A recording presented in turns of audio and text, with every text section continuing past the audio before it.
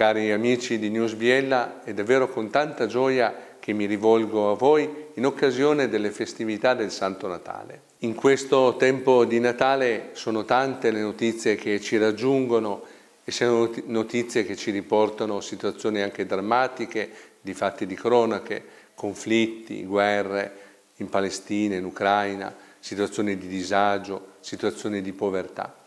La domanda allora che ci facciamo eh, per poterci scambiare gli auguri di Natale e che siano auguri autentici e quale significato dare anche quest'anno al grande evento del Natale.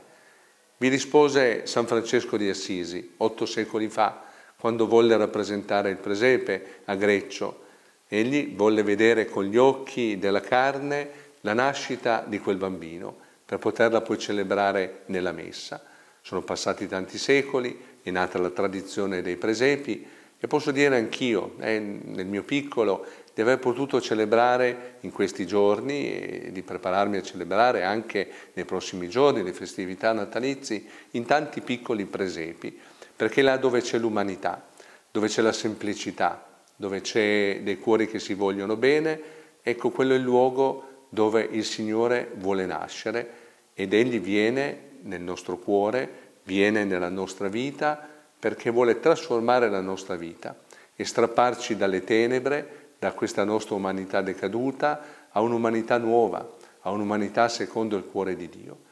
Vi faccio gli auguri più sinceri di un buon Natale perché per tutti eh, sia un Natale di speranza, un Natale, un Natale vero, un Natale autentico, un Natale profondo dove il significato lo mettiamo veramente noi con la nostra vita insieme alle persone che abbiamo vicino.